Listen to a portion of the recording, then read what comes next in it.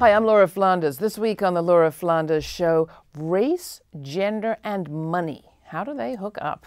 Feminist Zillah Eisenstein will be on the program. We'll also visit with the Damayan Cleaning Cooperative, the first Filipina migrant worker owned cooperative in the United States. All that and a few words from me on the intersectional transformation we desperately need. Welcome to our program.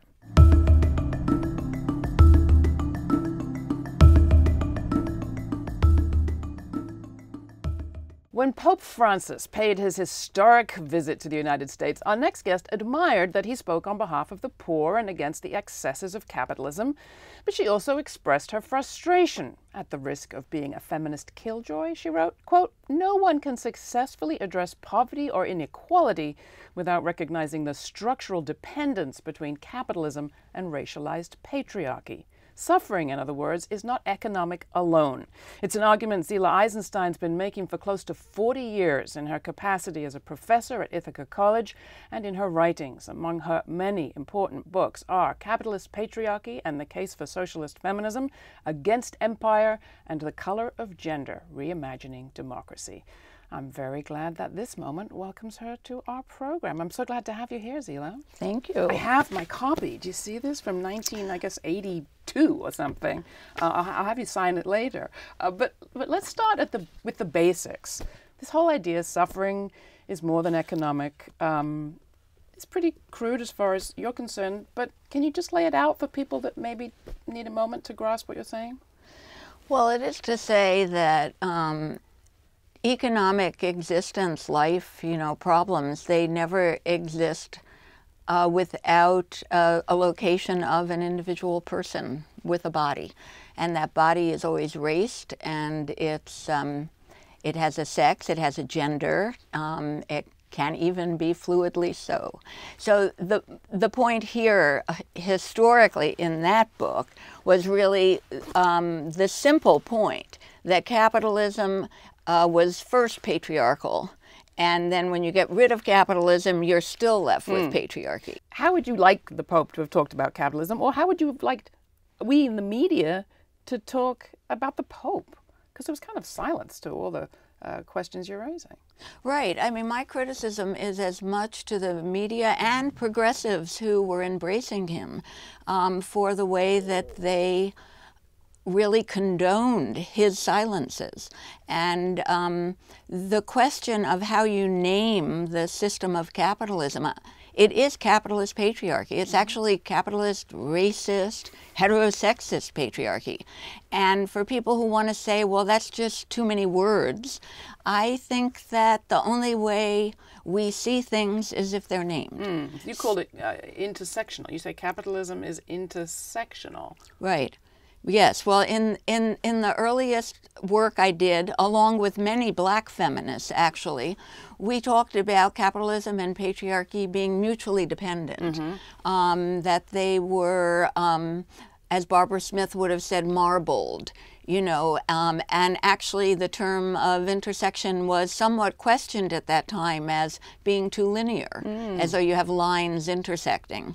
Because reproduction of um, slave labor force, creating capitalism in America required rape. Can you lay out a little bit more about what you mean about how these two relate, capitalism well, and patriarchy? to the extent that even people talk about slavery as though chattel slavery, as though it is a system of racism, mm-hmm. it is as deeply a system of um, misogyny and sexism. Mm-hmm. So the only way that slavery got reproduced was by the misuse and rape of enslaved black women. Mm-hmm. It was central to the system. Yet, when people talk about slavery, they speak of it as though it is a system of racism. Now, my point is yes, absolutely. But it is racialized patriarchy, it's patri- patriarchal racism. And actually, maybe that's why we haven't done a mm. sufficient job of getting rid of the slave system in the United States. So, help us with the history a little bit. I mean, I went back to a page that Ithaca College put up celebrating the many years you'd been there, and their first entry is a forum that you held, Is Feminism Dead, in 1979. Um, what have been the junctures at which you think we perhaps went down the wrong road or something else could have happened? Well, I think that, you know, the junctures ca- are actually made just out of history. Sure. So there are moments when uh, there has been a challenge for feminists to stand up and take notice. Um, most of the time in the United States, the mainstream liberal and now neoliberal factions of feminism win because they they really are the most powerful. And that's what was happening kind of at 79, 80, Right.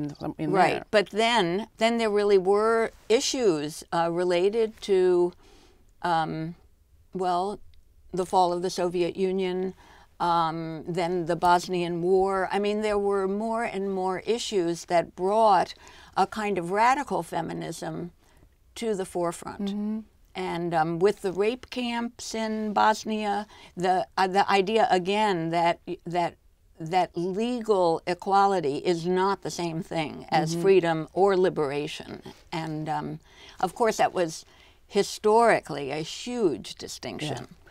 How do you define radical feminism? Okay, radical feminism.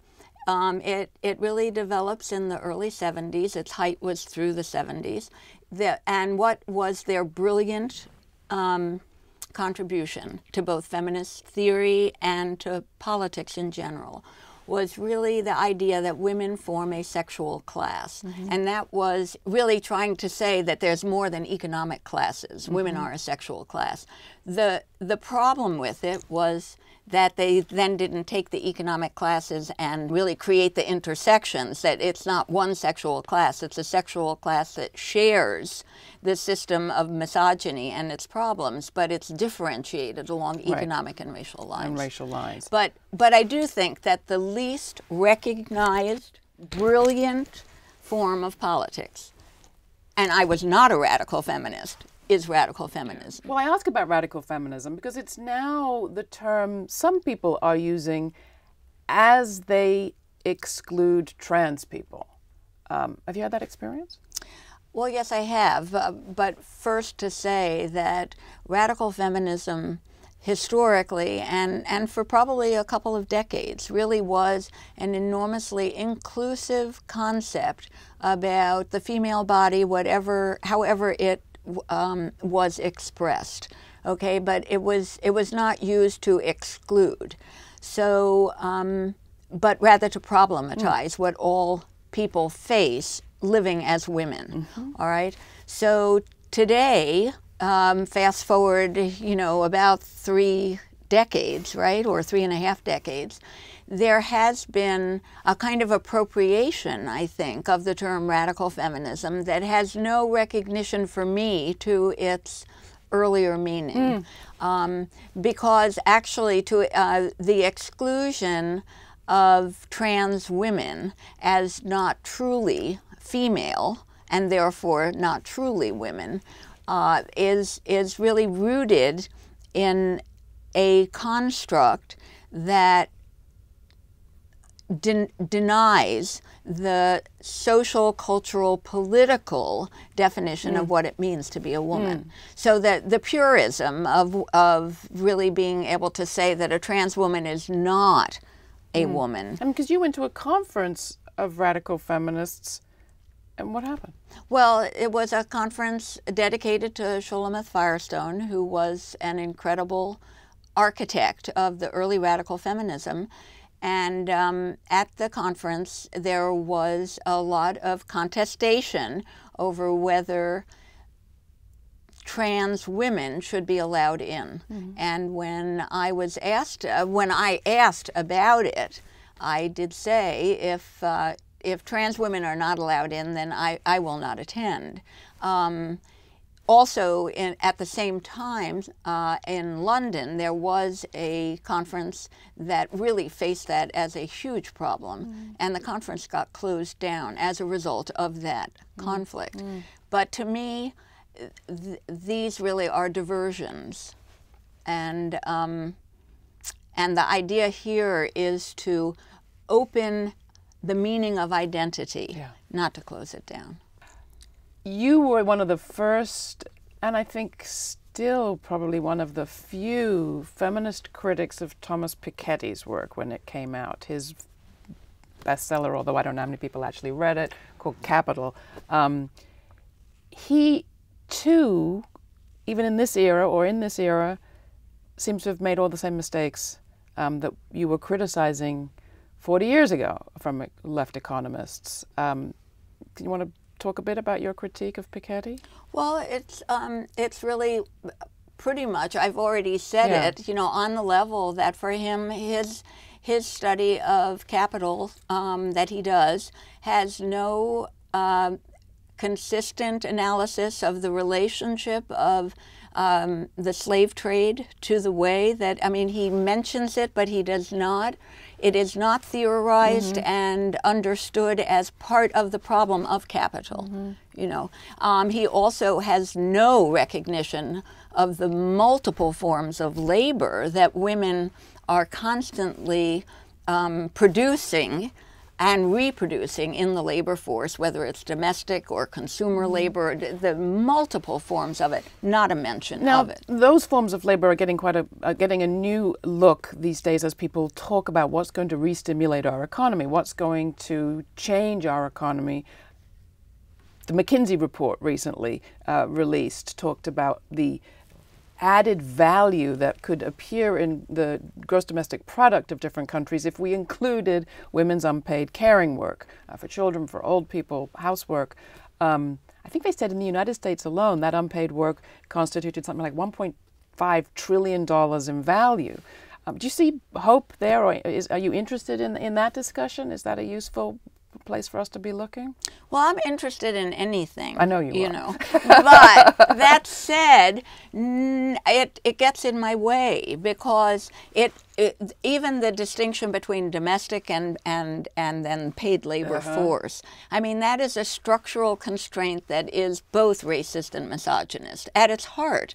So the idea here that I'm going to say, okay, well, uh, uh, you know, they uh, what was it? 30 years ago, they said a housewife is worth uh, twenty five thousand, right. whatever wages for housework. You know, so but um, so re- where does that get us? We're supposed to pay the housewife. So that's not about restructuring.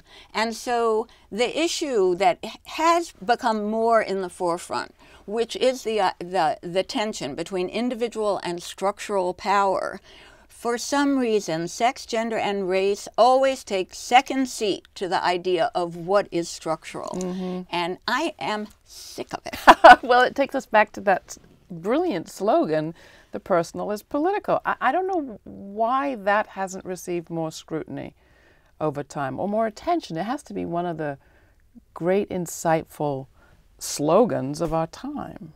It is totally, I mean, I, I wouldn't call it a slogan to the extent that it came out of such rich intervention into where is power located. And it was really saying that the, that there is a politics to sex, that the public is private and the private is public. It was really a mm. total realignment of what those relationships are. And is that the direction any of our conversations are going around what a lot of people call the new economy? Um, as we think of reimagining, is that concept front and center anywhere that's getting you excited? Do you see any models of people who are thinking about gender in this new economy? Well, most of the work that I've seen on the new economy doesn't do that. Um, but that doesn't mean that it couldn't very easily start to do that. So encourage them. Yeah. How well, so? So, well, it would be really to try to unsettle some of the categories of really what is, you know, considered to be um, invisible labor or what is considered to be um, uh, the unpaid force or what is it, the affective labor. Mm-hmm. I mean, all of those terms on some level, if they're not interrogated, become reproductive of the system mm-hmm. of of misogyny and the and the lessening of the value. But I also think we live in such complex times that this affects men and women, males and females. It's you know no it, labor is not as um, uh, divided um, as it used to be. Mm-hmm. So and and we also need to be thinking newly about that. Zillah Eisenstein. You can get a list of the books that you could read or have on your shelf at our website. Thanks so much for coming in. Oh, thank you so much. You might like to know that you can listen to this show as well as watch it and hear all our interviews on our weekly podcast. It's available at our website, The movement for cooperative ownership is gaining ground in New York City.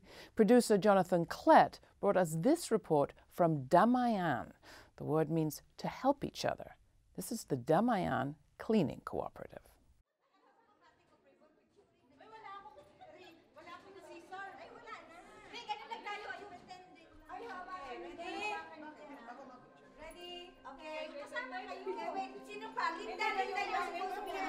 Dapat nandito kayo, Rachel. Linda, dito Okay, ready? Okay, ready, everyone? I don't want you to miss this very important part. One, two, three!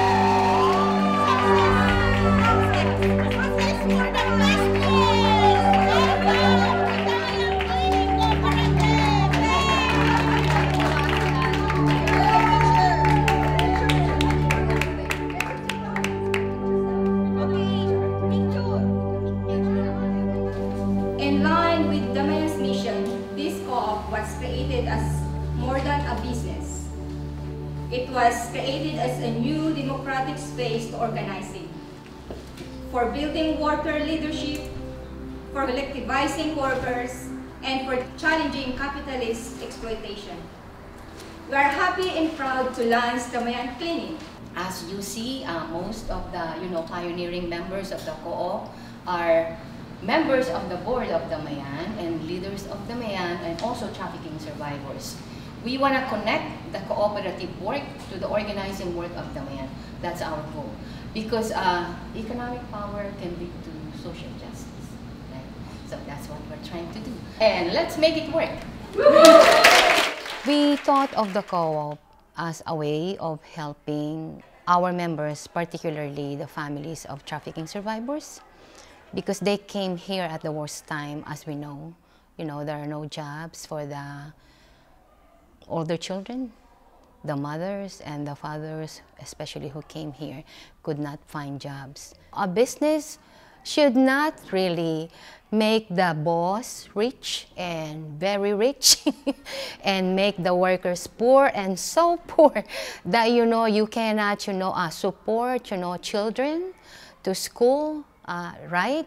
You cannot have you know a dignified life here. Our people don't have jobs. And so we get out of the country and end up becoming domestic workers here. Damayan has a campaign against labor trafficking. Many domestic workers who work for diplomats and other really powerful employers, you know, find themselves in trafficking situations. We have supported about three dozen traffic workers. I'm um, one of the labor trafficking survivor. I came here because of the invitation for the church as a missionary. In my contract, there's a promise that after two years, they can be able to adjust my status. I was approached by the leader that they will give me, my continental director will give me a special mission. It was like a secretary, a personal secretary, but it was not true. I was doing the domestic worker. I was with the young kids, three kids. That was through 24-hour job. I, I don't have salary. That was three years. 2003, I managed to escape too because they wanted me to go home. This family was taking advantage for me. I don't have anything. That's why I don't want to go back to Philippines because it's really hard there. I'm gonna start from the scratch and what kind of job I I'm gonna find in my country. So in short, so it was really hard. I'm very exploited. It was really very controlling. They took my passport as soon as I came to America. They took the, my passport, my documents. When you work individually, especially if you're in the uh, domestic work industry, you're on your own. But if you have a co-op, you know, you're the boss. You set the wage rate, you set the work conditions. We thought that maybe we can make our own business. Right now, we have a small contract from one of our ally organizations, the Nature Conservancy. So the unfair economic system is global and we have to break it, right?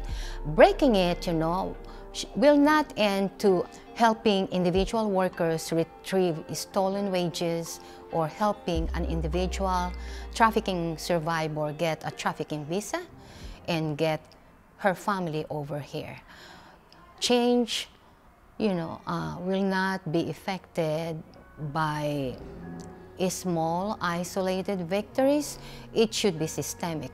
And in my view, a cooperative can do, can show the workers, you know, how a systemic change should be.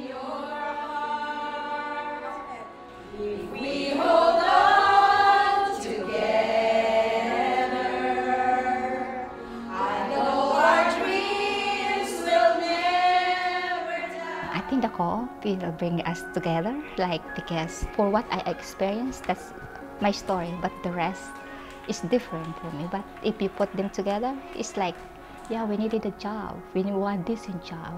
We want a fair wages. It's like we are putting together the power of the women, power of the workers. we need to effect change and who will be the real agents of change.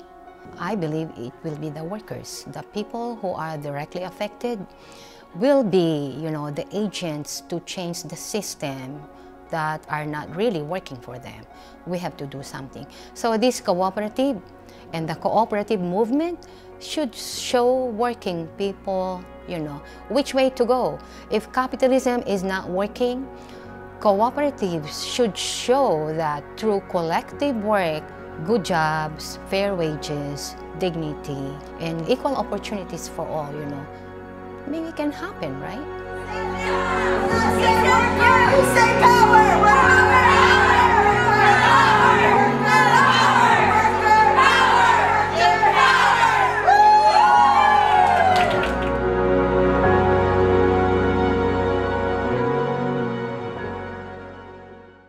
report on the Damayan Co-op from our very own Jonathan Klett. Capital is intersectional, says guest Zillah Eisenstein on the Laura Flanders show this week. People with bodies labor, which means that the capital they produce is immersed in race and gender. Just like the bodies that make it, wealth's not colorless or gender free. So anyone who pretends otherwise just isn't serious about reducing inequality. With gender equality more of a priority than ever, women still represent 70% of the world's poor, according to the United Nations. They earn less than men, about half as much, even in advanced economies, even as they do more work, almost two and a half times as much when you include unpaid labor. And inequality between rich and poor women isn't shrinking, it's growing, reports the UN. In the US, a 2011 study found that fully 40% of single female heads of household were living in poverty, and the numbers for women of color were even worse. Sure, the rise of extremism, war, and the concentration of financial and corporate power hasn't helped. Still, in these same two decades, women have gained legal rights, rights they can defend in court. More girls have gone to school, more women have gotten elected and become leaders. So, what's going on? Today's inequalities can't be explained simply by the lack of legal rights or discrimination, says the United Nations, nor are they inevitable. What we know from our guests, women like Ai-jen Poo of the National Domestic Workers Alliance or Saru Jayaraman of the Restaurant Workers, is that equality hasn't come from access to more precarious and poisonous jobs or an ever expanding workday. The gig economy isn't the answer either. What's needed is fundamental change, what many are calling the next new system. But that has got to come with explicit attention to racial and gender justice.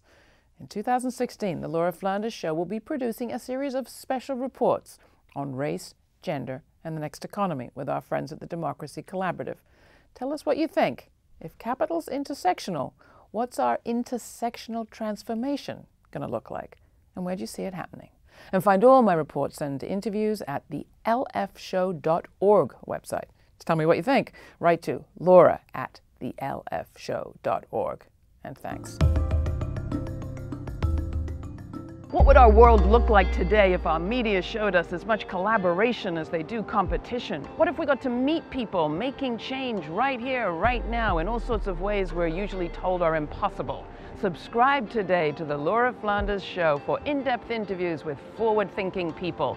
Smarts, not sound bites, every week, right here. Subscribe, and thanks.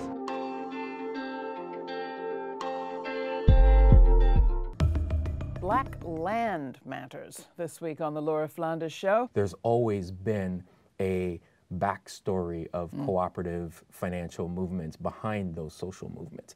And then we take a look at a few initiatives to do that again today. What this workshop does specifically in breaking down what a cooperative does is empowers people. That is where I kind of lay most of my hope for, for change in this neighborhood.